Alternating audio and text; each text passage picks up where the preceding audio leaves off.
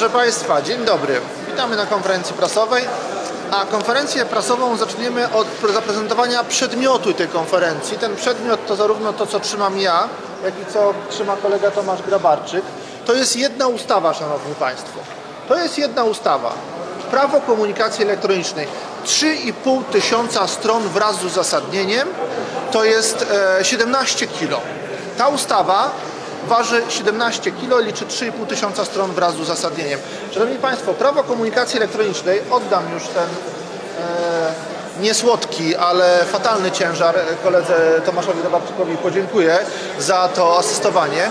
Prawo komunikacji elektronicznej, które reformuje rząd. Dla porównania poprzednia wersja prawa komunikacji elektronicznej miała, liczyła sobie 200 stron, też bardzo dużo, ale to liczy 3,5 tysiąca. To jest przykład tej biegunki legislacyjnej, o której mówiliśmy już w tym tygodniu jako Konfederacja.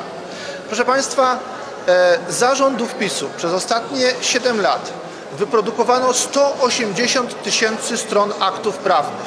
To jest dokładnie 10 razy więcej niż e, aktów prawnych wyprodukowano między 89 a 95 rokiem. 10 razy więcej niż w okresie transformowania Polski z komunizmu. A jeśli chodzi o tę konkretną ustawę, o prawo komunikacji elektronicznej, o której chcemy w tym momencie powiedzieć, to jest to absolutny skandal i hańba. Szanowni Państwo, jakim służbom daje dodatkowe uprawnienia ta ustawa?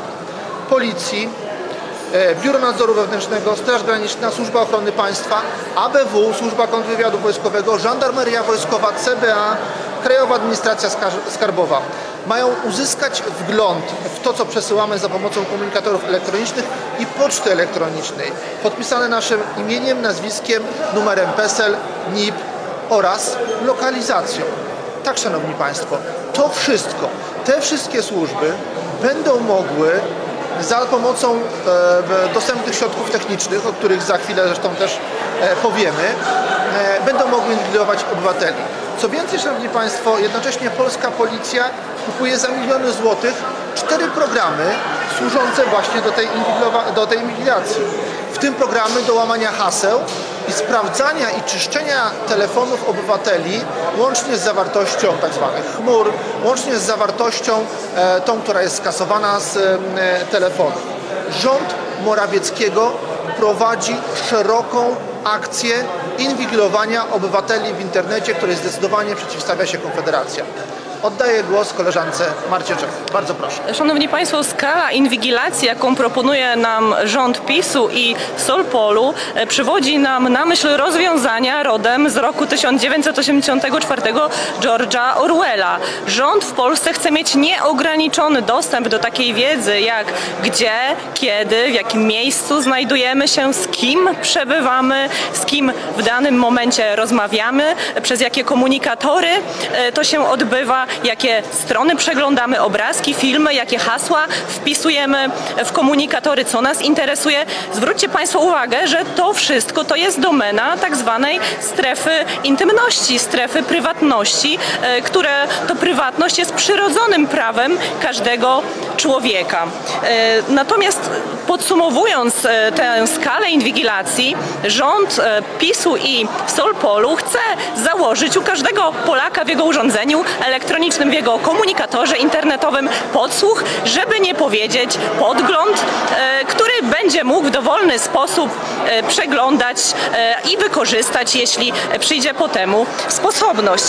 To, co u Orwella, drodzy Państwo, było swego rodzaju political fiction, rząd PiSu i Solpolu przeobraził w reality show i co najgorsze, chce nas zmusić do udziału w tym show od taki rządowy wielki brat, żeby nie powiedzieć rządowy, inwigilacyjny, wielki bat na Polaków, a tak naprawdę jedno i drugie i jeszcze gorzej. Warto zwrócić uwagę, że jeden z przepisów tej niebezpiecznej ustawy daje prezesowi Urzędu Komunikacji Elektronicznej i innym e, podmiotom uprawnionym między innymi możliwość nałożenia na operatorów konieczności zablokowania na przykład wybranego komunikatora internetowego pod pretekstem zagrożenia obronności kraju, bezpieczeństwa państwa czy e, zagrożenia tak zwanego bezpieczeństwa publicznego. I miałoby się to odbywać w sposób błyskawiczny, zaledwie po 6 godzinach od zgłoszenia. E, Przyjrzyjmy się jeszcze tym sformułowaniom wytrychom, takim jak bezpieczeństwo państwa czy tak zwany porządek publiczny. Są to tak szerokie klauzule generalne, że w zasadzie przy złej woli można tam podciągnąć wszystko i pod byle pretekstem, z byle powodu jakiejś grupie Polaków albo nawet wszystkim Polakom odciąć dostęp do wybranego komunikatora typu Messenger czy na przykład Gmail. E, Zwracamy również uwagę, że projekt ten drastycznie narusza zapisy konstytucyjne, jak już wcześniej przeze mnie wspomniane przyrodzone prawo do prywatności każdego człowieka.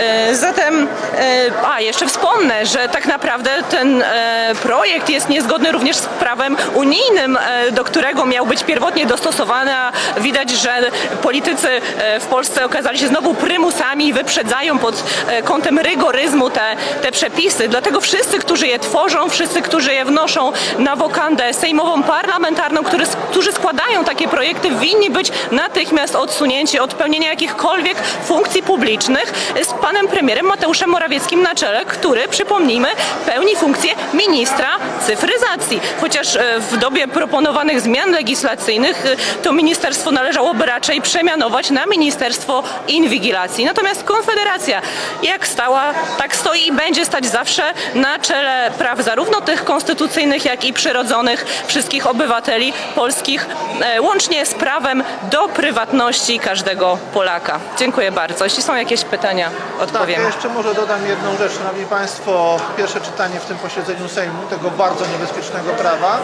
e, i Konfederacja rozpoczyna walkę o to, żeby ono nie weszło w życie. E, będziemy odwiedzać posłów PiSu również w ich biurach poselskich. E, będziemy tam zapraszać obywateli, żeby wyrazili swój protest, żeby wyrazili swój sprzeciw.